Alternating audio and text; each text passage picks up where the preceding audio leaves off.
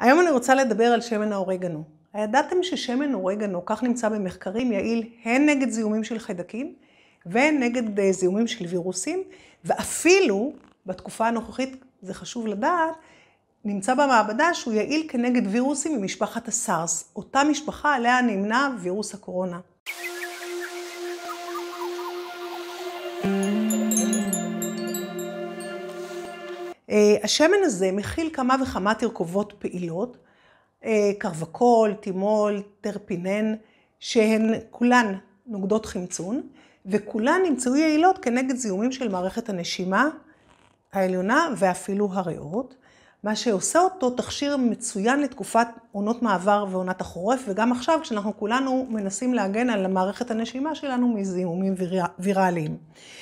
אה, הוא נמצא גם יעיל כנגד חיידק ההליקובקטר פילורי, זה שתוקף את הקיבה, ובגינו הרבה פעמים אנשים צריכים לקחת אה, טיפול אנטיביוטי מורכב, וייתכן מאוד שהוא יכול להוות תחליף מצוין אה, בגישות טבעיות. אכן, אנחנו משתמשים בו כך בגישות הטבעיות.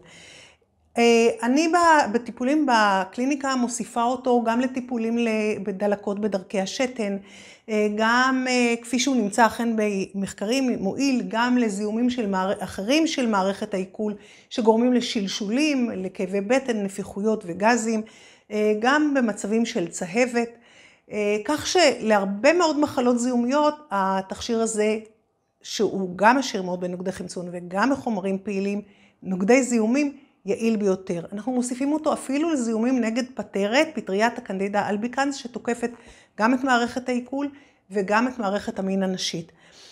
אז אה, לקראת עונת החורף או לקראת עונות מעבר, או בתקופות שאנחנו יותר מאוימים מבחינת בריאות, אני ממליצה להחזיק אותו בבית, אני לפחות עושה את זה. המינון שאנחנו משתמשים בו הוא אה, מספר טיפות בין 4 ל-6 טיפות ברבע כוס מים פעמיים ביום.